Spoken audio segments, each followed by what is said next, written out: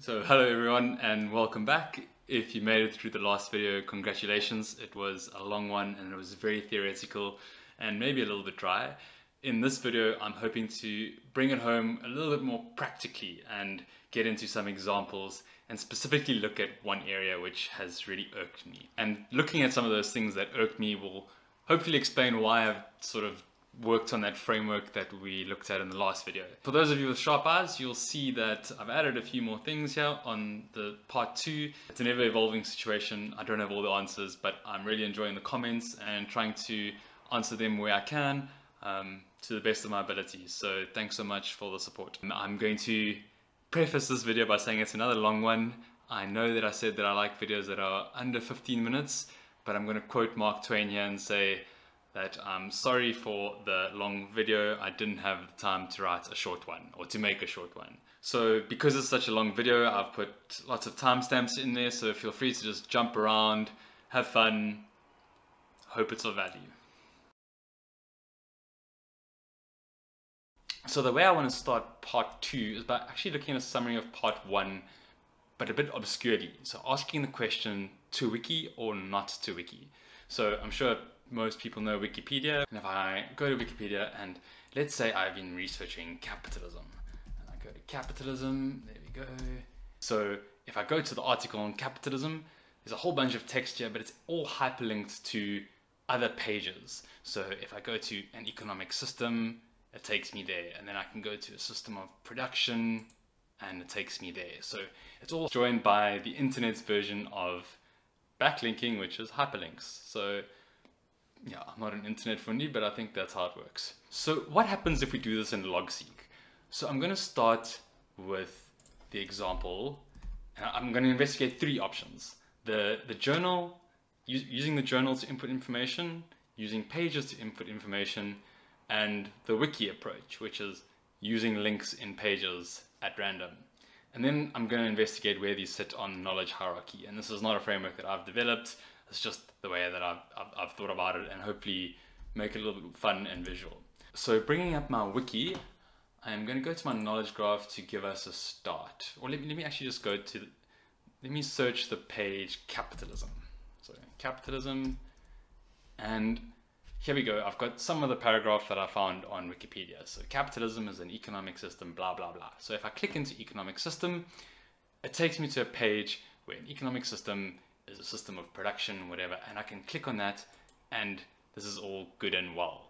And then if I want to go into, you know, economic theory, I could click on that, but I'm pretty sure this page is going to be empty. It is because I couldn't keep creating pages because it's just a, it's just a dump of information. Now, what does this look like on your knowledge graph? If I go to my knowledge graph, pretty chaotic it's just words linked to one another and you can see this is the rabbit hole that I went down where I went capitalism, um, the economy, Marxism, socialism, whatever. It was just an example. I didn't want to use anything too controversial like evolution or whatever, but in hindsight, maybe capitalism and socialism are controversial topics. Nonetheless, let's, let's forge ahead. So this is not a very useful knowledge graph. It's just linking words. So what is another approach to do this? So if I go and I look at the pages approach, let me open that demo. I've called it tags. If I go to capitalism here,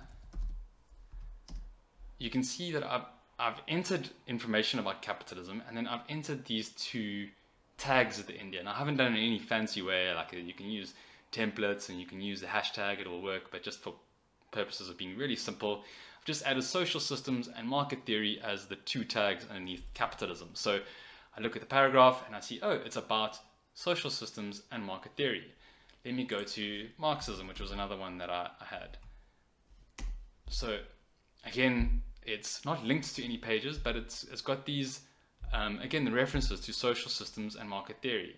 If I, if I click on market theory, you can see that the page is empty, but I've linked the other pages to market theory as a tag. So that's very important. There's no information in market theory. I'm not like writing the Wikipedia version or the definition, just which is an information dump. I'm, there's actually some sort of link or context that I'm applying here. Now, what does this look like in my knowledge graph? So if I go to my knowledge graph, you can see a lot more usable. So it's it's linking concepts here. So I've got capitalism, Marxism, and socialism, which are linked to market theory and social systems. And I can see that fascism is also linked to a social system. I've got production, which is linked to market theory and economics. And then I've got economic systems, which will be linked to economics. Capitalism should actually be linked to economic systems. So let me go there and say economic systems. And I guess socialism should be the same, but you know, it, it creates a bit more uh, usable link. Um, let me actually do the same for Marxism, where these things are, are linked by their context. So if I go to my graph, well, it's a little bit chaotic in here, not the best example, but I can still see I've got these nodes of information where things are forming around. So I've got social systems, I've got market theory, I've got economic systems, and there's a bit better of a link. You know, if I, if I didn't have that economic systems, it would be, you know, even better. But I'm not going to go back and change my example because that would be disingenuous of me. Now, what's another approach that I could do? I could just enter these into my journal just on a day by day basis. So if I go to my demo for journal. Ha, there we go. I've got an economic system as I entered on May the 10th, production I entered on May the 9th, 8th I entered fascism, whatever. Just entering into my journal as a database, but not into a separate page for each of these things. What happens if I go to my graph now? So if I go there and I view my graph, no links. So this is a super clean graph and I can see all the things that I'm, I'm interested in and but there's no links so you know again it's, it's all about trade-offs and I don't know which one is the right one for me I'm still figuring it out but I just wanted to illustrate what happens when you do the things in different ways. Now the nice thing about this is I can still like you know look around my asteroid belt as I mentioned in the last video of things and then I can see what I might be interested in. So say now I'm interested in market theory so I click there and here I have all my link references. So I can see here I was writing about production, and but it's in the journal. So, you know, maybe in this case it would actually be better if I had the pages approach and I clicked on mark, market theory and then gave me the title of the page there. Let's go see what that looks like. If I go to my tags demo, I go to my view graph, let me see my market theory, and I can see, ah, I've got the page Marxism linked to that, socialism linked to that, capitalism linked to that. So, you know, again, what information do you want to have in your journal? What information do you want to have in your pages? Do you want to have your journal linked here or do you want to have a page linked here? It's really a case of personal preference. Okay, so getting into PowerPoint again, I'm going to look at the, the sort of hierarchy of information. And it's going to start left to right, and then I'm going to move it into a pyramid. So hopefully this works out. So I don't know if anyone has seen this graph before. That's where I got it on the internet, but it starts with data and it's just points of information just scattered randomly. And then when you start linking those points of information, so here they're linked by color, that's when it becomes information. Definitions are not important, but I think it's more, you know, adding context to the, or adding some value to the to the data. And then the next level up is knowledge. And that's where I'm now, you know, making things that are greater than the sum of the parts. So it's not just you know, linking those two things is by taking them and saying, oh, I'm going to make something even better with this knowledge. So that's a nice way to look at it from a left to right sequence. But what about a pyramid? So let's use a pyramid. So we've got data at the bottom, information at the top, and knowledge, sorry, information above that and knowledge at the top. So this is now the, you know, the levels of abstraction, if you can call it that. Now, how do I see this like fitting into LogSeq? So I see plain text and a wiki as being this lowest level of data because as we saw in Wikipedia, you're just clicking around and it's not really adding any value to you. However, when you start adding context, and that's by using tags, that's when you get to the level of information. You are joining these different um, these different dots, and they're joined by colors here. And you know, depending on if you use journal or pages, it might draw lines in your graph. Hopefully, that doesn't throw you off because the lines in the graph up top there are actually a little bit more than that, which is you combining some you're combining these different pieces, of information to make something that is greater than the sum of the parts. So this is the full progression, really, really nice, like drawing and hopefully we can all get to a place of wisdom, but it's hard and we have to acknowledge our failings and acknowledge that these systems are not going to work always and that our brains are sometimes not going to work too. And um, yeah, speaking about that, we must be careful, I guess, of conspiracy theories, which is my favorite depiction of this drawing. Okay, so getting back to Logseq, there were some questions that were raised in my head when I was structuring my database, which is how can I go about creating hierarchy if it's actually required? And what if I want to avoid queries for tags? Because in the beginning, I was not very sure of queries. Now they're like a part of my workflow. But you know, for someone who's getting started, maybe it's something that's a little bit intimidating. So we'll get into that in a second. But how can I go about creating hierarchy if required? So one of the ways that I think about doing this is by using content hubs. So I'm, I'm back in another demo database. I've got lots of these floating around at the moment. And if I open my contents page, going TC, you can see here I've used the contents to create some sort of structure and you could think of this almost as folders. But I don't really think of it as folders in the stricter sense. I think of it more as tags. But what I've done here is I've entered different sort of hierarchies or categories that I can then reference later. So if I go to my graph, what will that look like?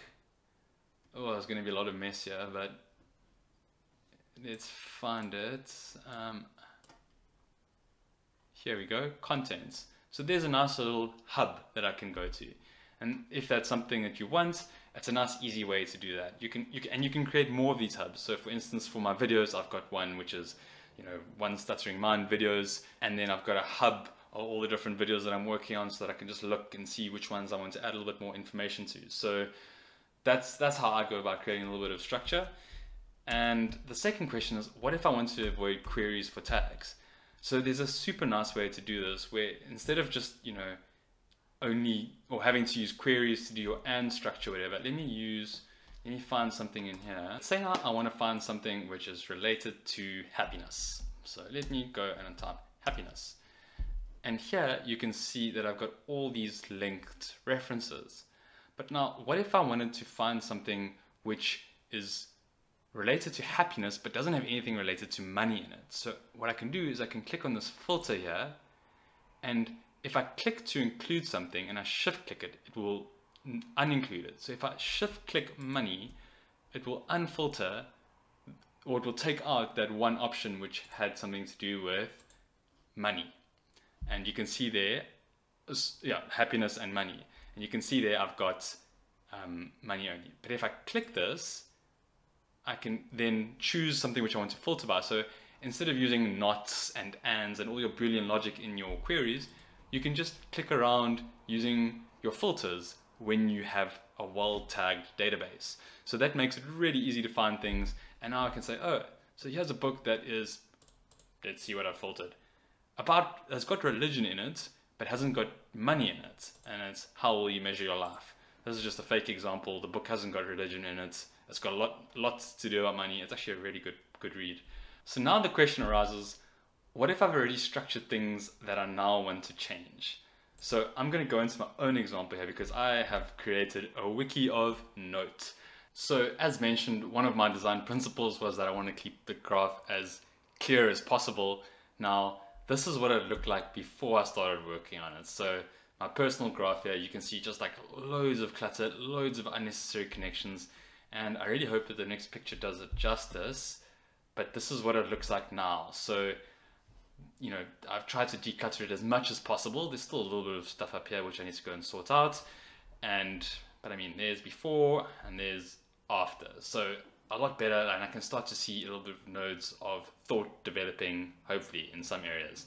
Now, this little part here is what I want to deal with now because this is one of the nodes that I left for the recording of this video because it was such a good example of poor structure. So if I go to my graph, this is the offending area and it's all about stock picks. So at the beginning of the year, I got really into looking at stock pick information and I thought I would write up my rationale so that I could justify my decisions.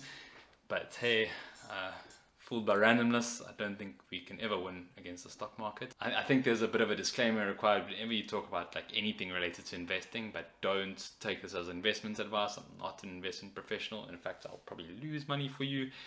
I once invested in a herd of Nyala with friends. That's a type of antelope. it didn't go well. Um, and what you can see here is I've got like individual pages for all these stocks.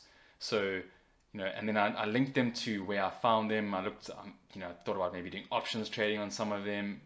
And, but this really isn't useful information. If I go into Datadog, and I didn't actually end up writing about them, but then I started relating it to Alteryx as like something to look at. Uh, nothing there. Um, SAP was definitely not something I related anything to, but you know, not not useful information. So what is another way of doing this? So rather than putting them all in like their own separate pages, I would much rather put them in one page, which is stock picks. And yes, everything here is linked, but that's not really useful information for me. Like I like it's just creating clutter and it's not like any sort of knowledge that I want to use. But like here I might like put something which is I could use it as a as a tag for like insurance stock things. So let me actually create a new page which is insurance stocks or big data stocks. And here I'll create that there and I'm just going to move through this very quickly, hopefully.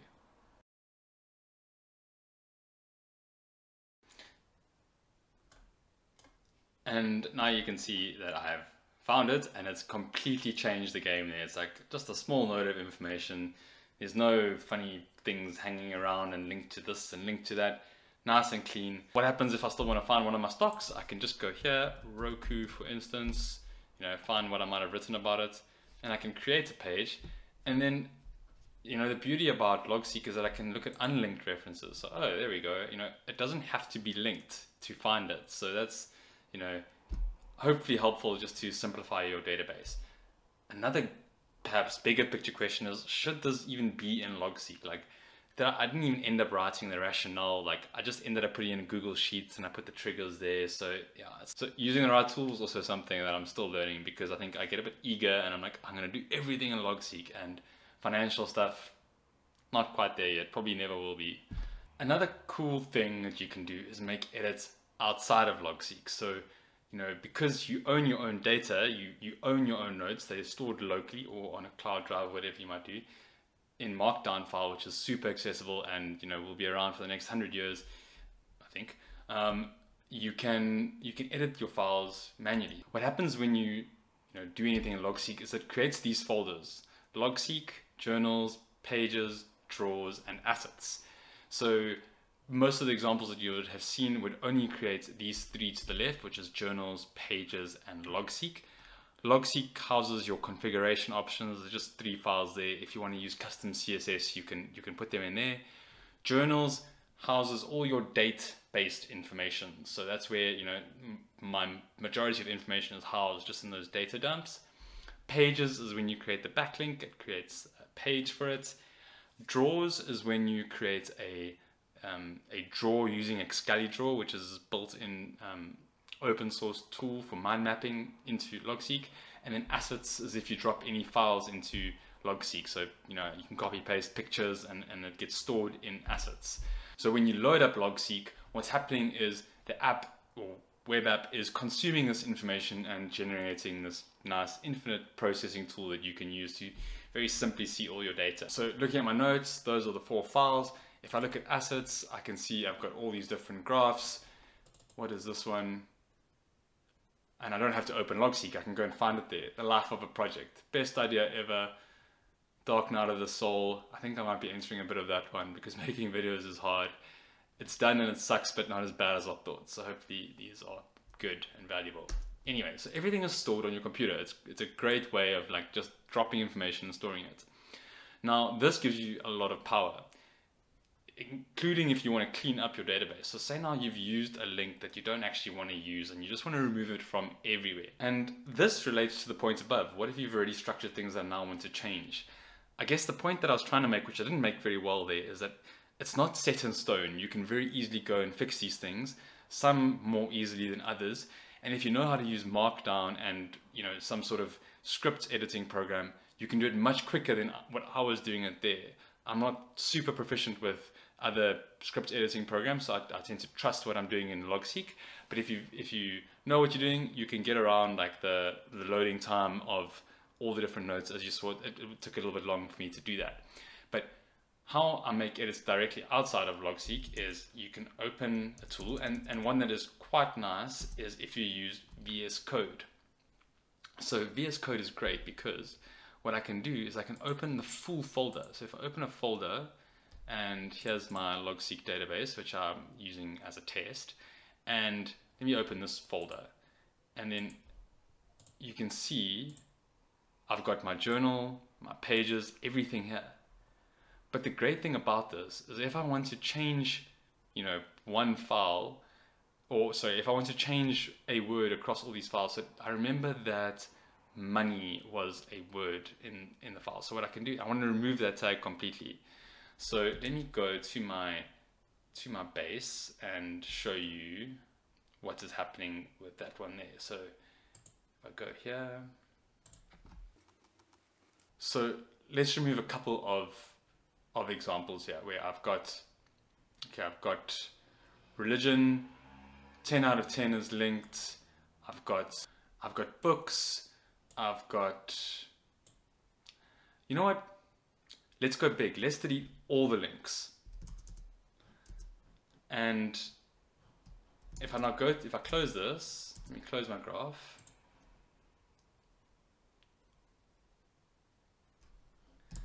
And I go to VS Code. And if I find replace that and I replace it with nothing um, let me say replace all yes replace. Okay cool. Replace that. Replace that. I should definitely have made a backup of this. And if I now replace that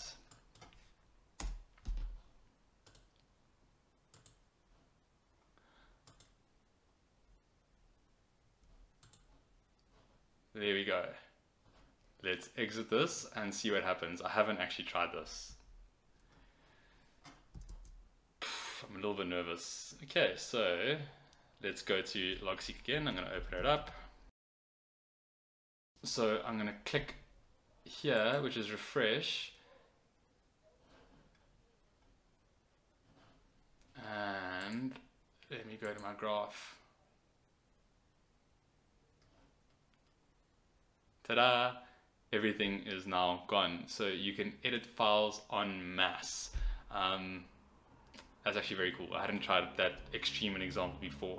So we've delved into how this works on your computer, the different folders, We've delved in how you can clean up the clutter using, using VS Code. Obviously, be very careful when you're doing that. Um, if, if you don't know what you're doing, make a backup and then do it because that could be quite tragic if you make a mistake and everything goes. So just be careful. And then some other questions. So what if I started with another tool, for example, Roam?